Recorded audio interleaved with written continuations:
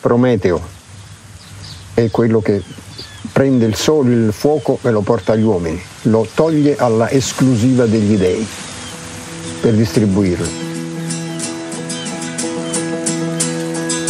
Pues el reto realmente era poder consolidar lo que ya habíamos establecido en una primera edición, es decir, de restituir ese legado del pensamiento camusiano aquí, en San Luis, en esa isla de los orígenes, en esa isla de la abuela de, Albert Camus. Eh, queríamos sobre todo em, afianzar ese, ese cruce eh, de miradas, eh, de, horizontes, que es realmente pues, la característica fundamental de estos encuentros.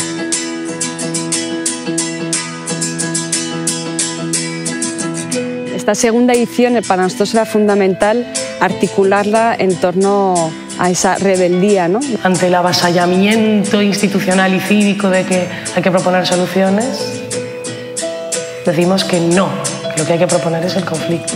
Estamos viviendo una época donde es necesario ser rebelde. Si no somos rebeldes, no sobrevivimos. Así de simple. Telling stories is one way of going deeper into stories that people are not willing to confront. Que tenemos que militar en favor del buen periodismo, contribuyendo y premiándolo y contra el mal periodismo, castigando. Camus était un libertaire. Camus refusait d'être prisonnier des propagandes, des mensonges, des pouvoirs.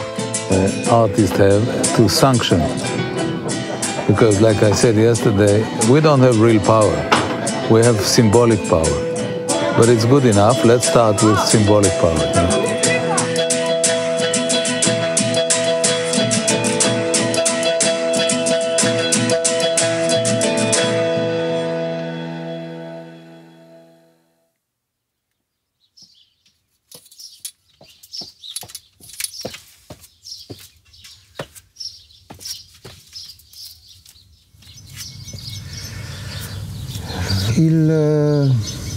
Il ribelle da solo non esiste, è portatore di una parola che riguarda tutta la espressione di una comunità che ha bisogno, necessita di ribellarsi per legittima difesa. Le journalisme suppose la révolte. Il ne peut pas être conformiste, il ne peut pas être suiviste. Le journalisme est fait pour nous empêcher de dormir, pour nous réveiller, pour nous dire ce que nous n'avons pas envie d'entendre. Et le journalisme doit montrer qu'il se bat pour ça. Et là, il y a un mot clé, indépendance. Indépendance. En los últimos años los recortes han renunciado en muchos casos a que los periodistas podamos estar in situ en el lugar donde ocurren los hechos y vemos el mundo a través de dos grandes ojos que puede resultar un poco orwelliano. ¿no? Las dos grandes agencias de noticias que pueden hacer mejor o, peor su trabajo, que muchas veces lo hacen muy bien, pero que sin duda esto nos conduce a una uniformidad de la información, nos excluye de la pluralidad necesaria para poder atar cabos y para poder ver aspectos diferentes de una noticia y de una realidad y de, y de la actualidad. Tenemos que trabajar con muchísimo rigor eh, alejándonos de la, de la equidistancia y apostando por el relato. El relato, nada más y nada menos, el relato, la crónica, el reportaje, el relato y no el enredo.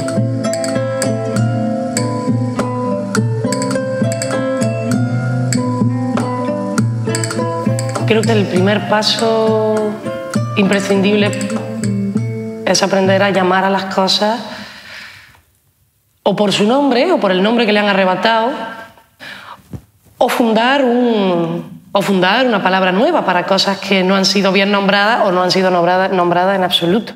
Cuando se habla de personas con discapacidad que son eh, institucionalizadas, significa que están recluidas, sea, sometidas a prácticas carcelarias entonces, esa, reversión del lenguaje, que parece que es llevarlo a un lugar más básico, más crudo, más alejado de la retórica, esa, la retórica que no es sino esos árboles que no te dejan ver el bosque, creo que es un paso imprescindible para esa toma de conciencia. There's so much information that comes in, and having been a photographer, a journalist, a radio person, a documentary filmmaker, a visual artist, all these different formats of knowledge make you realize that there are so many elements that constitute a narrative. And it's up to you to choose your own narrative and how you think of that narrative, because each one comes to a story with his own perspective. Nothing is objective. Subjectivity is the name of the game.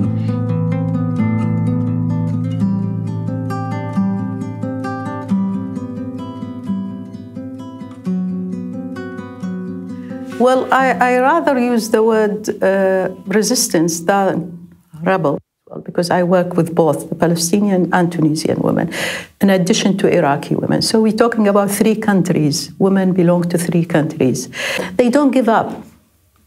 They continue the resistance by doing this creatively to catch that glimpse, that gesture, human gesture in a prison this is the success of this kind of writing, is to reach people you cannot reach otherwise. It's, it's important to write your history, your own history as well as the people, because this is you are building up the collective memory in order not to accept submission, in order always to work for a whole and for yourself at the same time.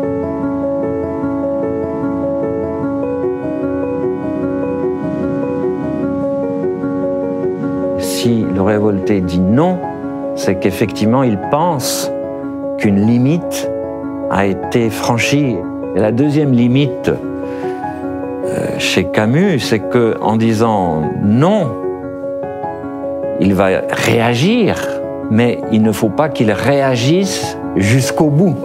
Il doit, euh, il prend également conscience que l'autre existe et là aussi, et que l'autre aussi a à sa propre limite. Pour trouver, la, pour trouver la mesure, il faut regarder en face la démesure contemporaine. Je crois que c'est ça qui est important et comprendre que cette démesure, euh, elle est innée, elle est dans l'homme, elle est en nous comme la peste est en nous. Et la leçon de, Camus, c'est quand même de, voir que la mesure, ça s'acquiert. Si vous voulez, la mesure, c'est quelque chose qui est acquis, la mesure, c'est culturel, tandis que la démesure, en nous et chez Camus, c'est quelque chose qui est à l'état de nature, c'est instinctif.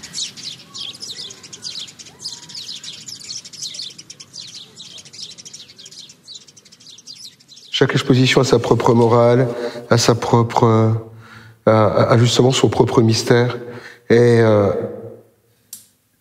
l'origine du projet, c'est une énorme rétrospective à la Tabacalera à Madrid. Et ici, ça ne pouvait être que différent entre une ancienne usine de tabac et une église désaffectée. Les mêmes œuvres, elles vivent différemment. Bueno, la verdad es que el cuerpo está presente en toda mi obra porque es una forma precisamente de hablar, ¿no? de hablar de nosotros, de, de, cada uno de nosotros y en este caso porque se convierte en un libro ¿no? de, de, esa rebelión. ¿no? Es, como un, es como un medio ¿no? para, para reflejar todo eso, ¿no? la libertad, esa libertad que, de verdad que, que, muchas veces no valoramos y que, y que es tan importante, ¿no? que esa libertad que, que nos ha costado conseguir, que nosotros vivimos ahora, ¿no? pero que en muchos otros sitios no, no la viven y que, y que la piden a gritos. ¿no?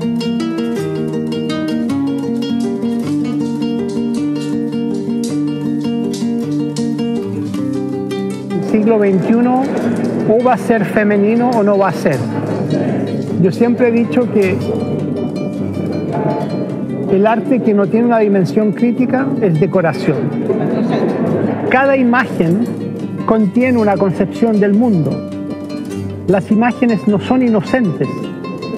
Las imágenes son importantes. Las imágenes nos educan.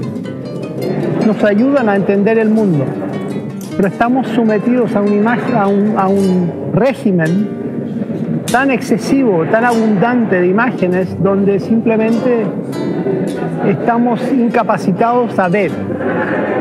Y perder la visión, perder la capacidad de ver es muy grave.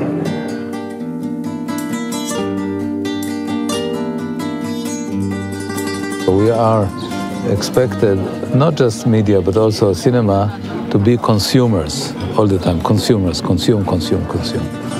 I would like to have a public which is interpreter, not consumer. So it means that you have you need time to when I show uh, something through this uh, frame, this horizontal frame, you need uh, something which allows you to contemplate when I tell you something.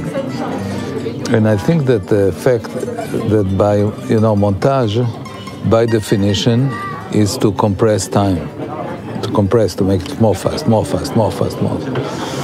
I think that the subversive work, which is good to do now, is to do the opposite, is to allow time to not to suppress.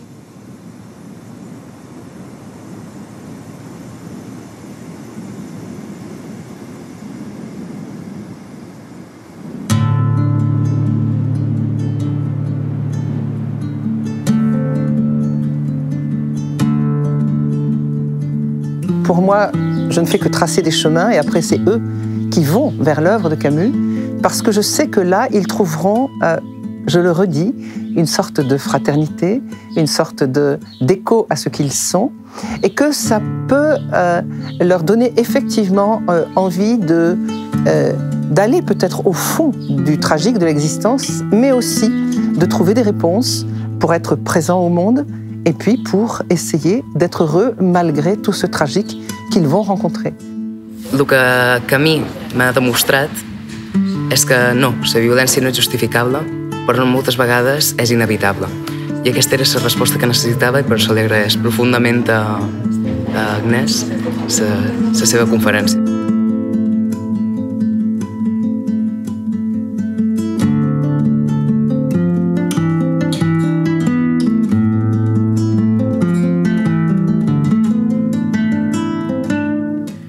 Considero que es muy importante que todo el mundo llegue a tener un punto filosófico sobre la vida, porque al fin y al cabo la filosofía es el conocimiento, es el inicio de todo y, es que, y, sin, esta, y sin ella no había nada. Sí, de hecho podríamos hacer la reflexión sobre si la evolución tecnológica es la auténtica evolución. Y también podríamos, también podríamos decir que la ciencia nace de la filosofía. No, es que la, ciencia es nace la, de la filosofía. Es la forma material de poder encontrar las, las cuestiones que, que los antiguos griegos se preguntaban.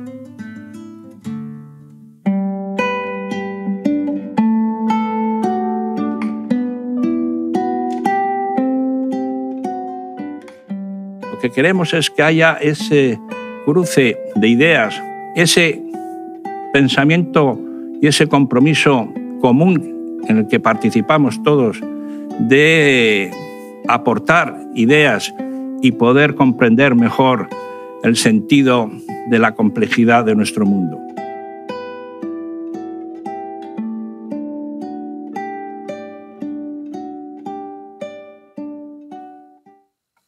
He recibido pues muchísimo eh, de los invitados, de, mi equipo, eh, del público y, sí creo que bueno, es esa energía ¿no? que ha fluido eso en toda su intensidad ¿no? y en todas sus ramas.